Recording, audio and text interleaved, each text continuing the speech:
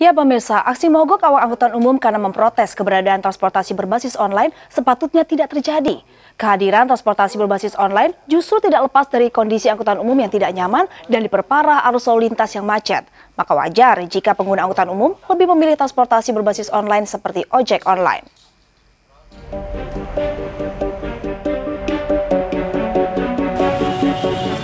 Macet Ya, itulah kondisi arus lalu lintas di Jakarta setiap hari, khususnya terjadi pada jam-jam kerja.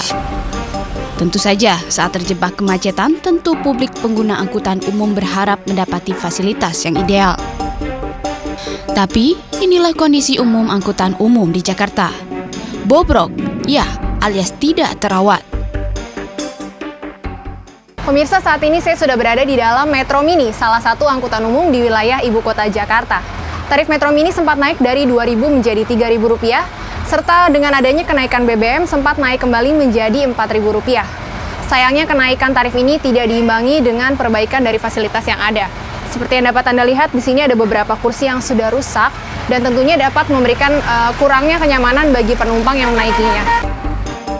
Dengan kondisi angkot dan metro mini yang bobrok seperti ini, jadi jangan pula salahkan publik jika akhirnya memilih transportasi berbasis online.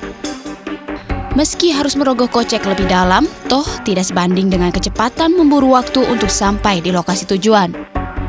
Dan lagi, pengguna ojek online tidak perlu berpeluh di dalam angkutan umum ataupun merasa was-was dengan kelakuan supir angkutan umum yang kerap ugal-ugalan dengan alasan kejar setoran. Karena itulah awak angkutan umum tidak sepantasnya mogok, karena pokok masalah ada di diri mereka sendiri. Di tengah tuntutan publik akan kenyamanan dan kecepatan dan tentu saja keselamatan, maka yang terbaik seharusnya para pemilik angkutan umum segera berbenah dan memperbaiki pelayanannya. Bagaimanapun masih banyak warga yang memilih setia menggunakan angkutan umum.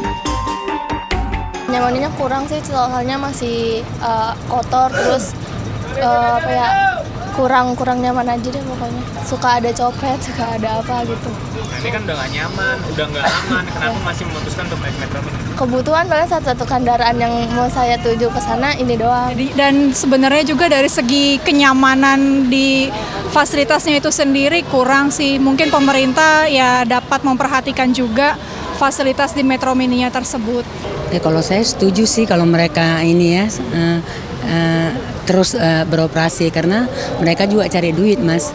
Mm -mm. Mungkin diperbaharui mungkin Iya mungkin diperbaruin itu saya sangat setuju. Dan lucunya, harapan akan kondisi kendaraan yang nyaman ternyata juga menjadi tuntutan awak angkutan umum sendiri. Metro Mini bagus, baru, juga semua juga nyaman. Supir juga nyaman, penumpang juga nyaman. Setuju ya, ya Mas? Ya, kalau masalah diperbarui setuju lah. Setuju lah. Semua setuju juga, semua juga eh, semua ngalamin juga enak. Tim Liputan MSC Media.